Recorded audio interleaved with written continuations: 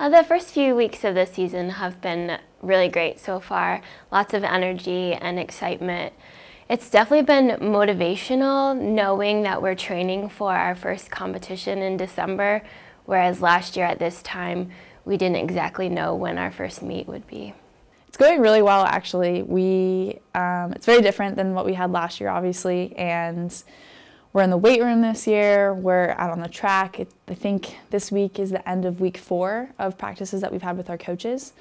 Um, and obviously, we've been training before that since we've been on campus. But it's been going really well. People have great energies. I think we're really excited for the fact that we have concrete meets and plans ahead. So I'm, I'm, I'm really excited. I, I think it's been going really well.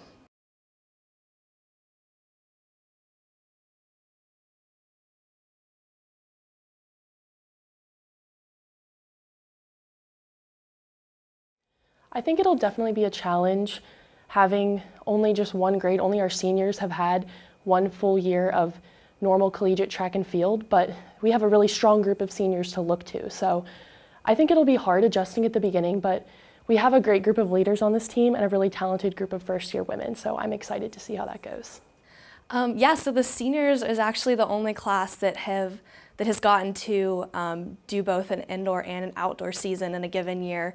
Um, so I think it'll be a great opportunity for the seniors to step up and lead the way. I think it also just makes us that more, that much more excited and ready and eager to get back out there and give it our all. Um, so I'm excited to see what happens with that.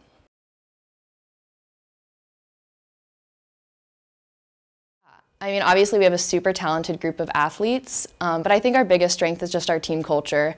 We're super supportive, um, and it's great to you know be running a race and have the whole track lined with with your teammates supporting you, and it really does a lot for performance.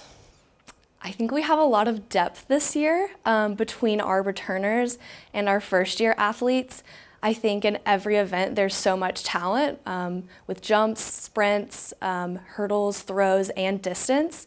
So I think that'll be everyone will be making a really, really important contribution in every meet, and I think we'll have a chance to really um, score high marks across the board, which will put us at a huge advantage.